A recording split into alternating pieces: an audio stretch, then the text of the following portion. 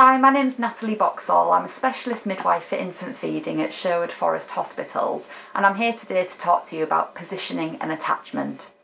We're going to use the CHINS acronym today, which is close, head free, in line, nose to nipple and sustainable. Now these steps aren't prescriptive, they're meant to be used in whatever order you need them to be and however works for you and your baby, but they're here to enable your baby to latch effectively onto your breast and for the feed to be comfortable. So there are lots of different ways you can hold your baby. You can hold them across your body, underarm, you can have them lying in a laid back position, and when you're in bed, you can have them in a side lying position. Now obviously any way that you feed your baby needs to be safe and it needs to be in a safe space and you need to be awake. So the best thing to do would be to look at the Lullaby Trust website for guidance on how to feed at night safely.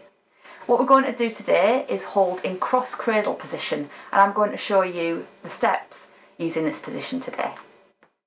So using the CHINS acronym, the first part is C for close.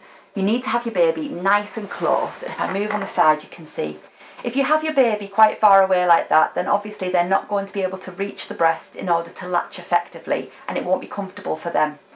What is best is have your baby nice and close, snuggled into you, and you can use your arm to go around like that, supporting the back of their shoulders and their neck.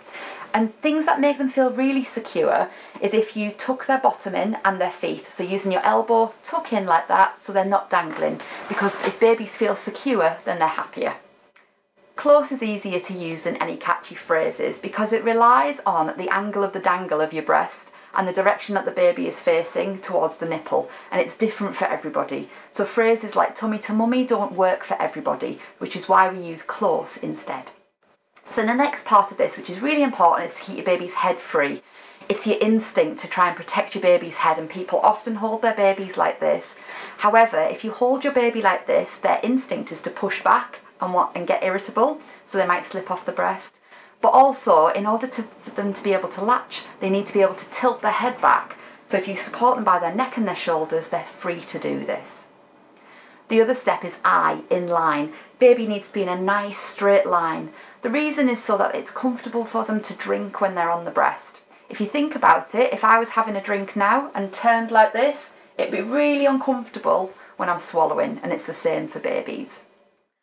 One of the last stages is N, nose to nipple. It's really important that your baby approaches the breast with their nose towards the nipple in order to get a latch which is deep and effective and non-painful for you. If your baby approaches the breast with their mouth to the nipple, what will happen is that their mouth will just go onto the nipple and the areola, which will be painful for you, and will also mean that the baby will not be able to draw the milk effectively. So instead, as you've got your baby close with their head free in line, the baby will get the nose to the nipple. This will elicit a rooting reflex for them and they will tilt their head back, lead with the chin, pivot off that and do a nice wide mouth as they latch on. This should be comfortable after around 10 seconds. If it's not comfortable, use your little finger, break the seal in your baby's mouth and take them off and start again, but try to aim nose to nipple. The reason we need baby to go on nose to nipple is to get a deep asymmetric latch. What this means in practice is the baby gets a nice big mouthful of breast instead of getting just a small mouthful on the end of your nipple which is painful. What you're aiming for is to get this part of your nipple to the rear of the baby's mouth where the soft palate is. It means the nipple's protected when the baby is feeding. And then the last part of the CHINS acronym is sustainable. It needs to be comfy for you and baby. If you followed these steps and baby's comfy, then you just need to make sure you're comfortable before settling into a feed. So make sure you're nice and cosy on the sofa, you've got your phone nearby, you've got the remote control, and most importantly, you've got lots to drink because you get really thirsty when you're breastfeeding.